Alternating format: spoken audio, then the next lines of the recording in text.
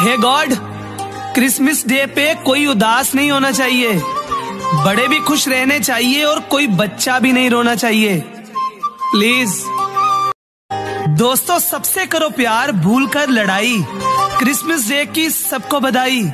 Merry Christmas.